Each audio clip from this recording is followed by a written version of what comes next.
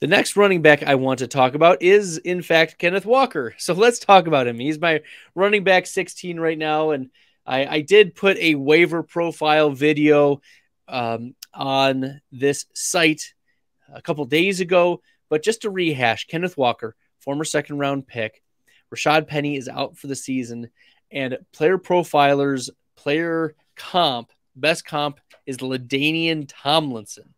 Woo! And yes, Kenneth Walker wasn't super involved in college. He had a 5.4% college target share. That's 33rd percentile, but it's still within the range of outcomes that Kenneth Walker is a capable pass catcher. But I don't think they're going to use him a lot. They just, the Seattle Seahawks just don't use their running backs uh, that are their main ball carriers to get more than like three or four targets a game.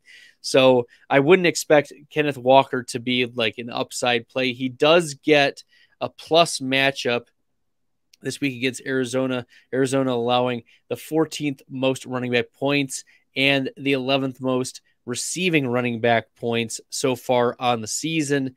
Uh, Kenneth Walker last week, eight carries, nine routes. That's what's encouraging for me, anyways. Even though he didn't have any targets or receptions, uh, he had he ran nine routes. 88 total yards. He had a touchdown. Uh, Kenneth Walker was the running back 19 last week. He's running back 16 for me. Um, you know, I, I, don't see Travis Homer there. DeeJay Dallas maybe getting a couple snaps here and there. But I, I do like Kenneth Walker. His efficiency is pretty good so far this year 12th in true yards per carry at five.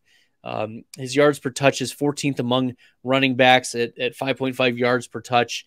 His juke rate is eighth among running backs 41.4% of the time. That is elite level juking.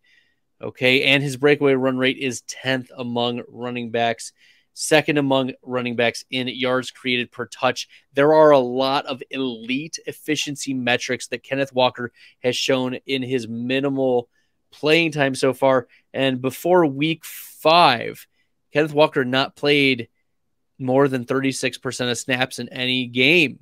So in his limited sample size, we saw high levels of efficiency, and now with a projected increased workload, like the the Seahawks drafted him to be a starter eventually. Maybe it wasn't going to be this year, but look at the insurance policy. You know, uh, Rashad Penny was not performing very well, but Kenneth Walker is a dynamic player, and we're good. That's going to be in full force here in Week Six against the Arizona Cardinals, who are themselves reeling.